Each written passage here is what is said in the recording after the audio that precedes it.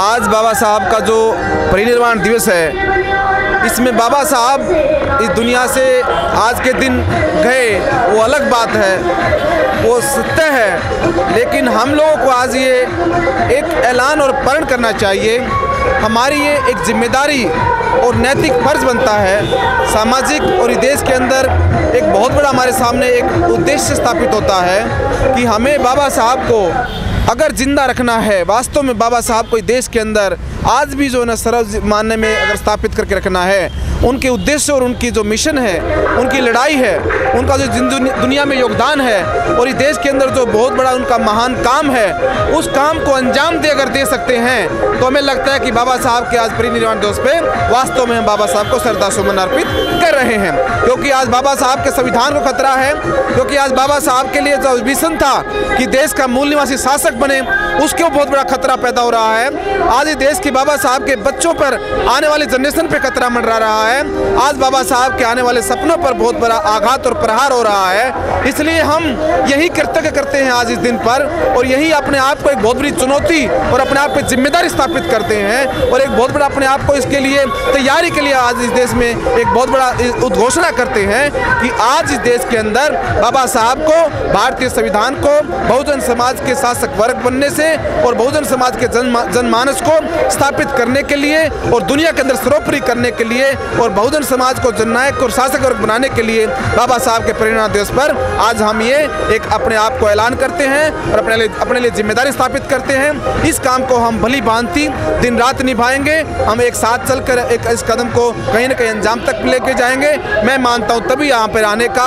और आज के कार्यक्रम में बाबा साहब को श्रद्धा सुमन अर्पित करने का वास्तव में औचित्य रहेगा। नहीं तो सिर्फ़ बातें रह जाएँगी सिर्फ़ हमारे लिए एक एक, एक, एक कार्यक्रम रह जाएगा और ऐसे कार्यक्रम करने का कोई फ़ायदा नहीं रहेगा। इसलिए हम तो इस बात पर निकल चुके हैं। हमारी टीम ने हमारी राष्ट्रीय अध्यक्ष एडवोकेट गीता रानी ने हमारी टीम ने सबने ये चीज़ ये प्रण ले लिया है कि बाबा साहब को और देश के संविधान को और भारतीय संस्कृति को और मूल निवासी वर्ग को शासक बनाने के लिए अपने हक अधिकार लेने के लिए समाज में जागरूकता लाने के लिए न्याय अधिकार दिलाने के लिए, सबके लिए बराबरी के अधिकार सुरक्षित करने के लिए और दोबारा से देश को सोने की चिड़िया बनाने के लिए, सम्राट अशोक और मुगल साम्राज्य जैसा देश बनाने के लिए, भगवान बुद्ध और सिंधु घाटी सभ्यता का या मान संस्कृति स्थापित करने के लिए हम आज इस इस दिवस पर अपने आप के सामने एक चुनौती भी रखते हैं और एक बहुत बड़ा टारगेट रखते हैं कि हम ऐसा इस देश में करके ही दम लेंगे, वरना बाबा साहब को सच्ची श्रद्धांजलि नहीं दे पाएँगे।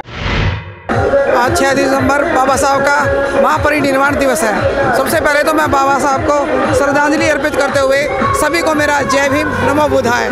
और आज हम 6 दिसंबर को बाबा साहब के परिनिर्वाण दिवस पर ये शपथ लेते हैं कि चाहे जो हो जाए, एलडीएफ की टीम बाबा साहब के सपनों को पूरा करने में कदम से कदम मिला के पूरे समाज को आगे बढ़ाने का प्रण लेती है और हमेशा समाज के शोषित, वंचित, जो समाज की मुख्य धारा से पीछे छूट गए हैं, उनको समाज की मुख्य धारा में लाने का और उसको समाज के साथ मिला के कदम से कदम बढ़ाने का जो साहस, जो प्रयास हम हम हमसे होगा।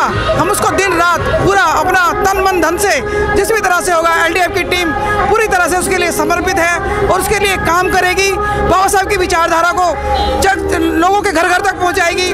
लोगों को बाबा साहब की विचारधारा के बारे में बताएगी। लोगों जो भटक गए हैं, जो लोग जो लोग इस विचारधारा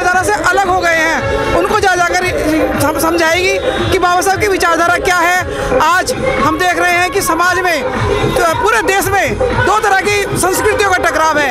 एक तरफ़ श्रमण संस्कृति है और दूसरी तरफ़ ब्राह्मणवाद संस्कृति है। इसमें आज लोगों को समझना होगा जिससे कि, कि श्रमण संस्कृति किस तरह से लोगों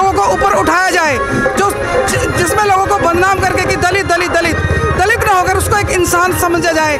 इसी उद्देश्यों को लेकर हम आगे बढ़ रहे हैं। हम समाज में, समाज से वादा करते हैं। आज हम छः परि आज बाबा साहब के परिनिर्वाण दिवस पर हम लोगों से प्रॉमिस करते हैं कि हम जो चाहे जो हो जाए, हम पूरे तन मन धन से हमारी एलडीएफ की टीम बाबा साहब के उद्देश्यों को लोगों के घर घर तक पहुँचाने का काम करेगी। इसी के साथ मेरा सबको जय भीम, नमो पूरा भारत नहीं पूरा विश्व बाबा साहब के तिरसठवें महापरिनिर्वाण को दिवस मना रहे हैं। जय भीम, नमो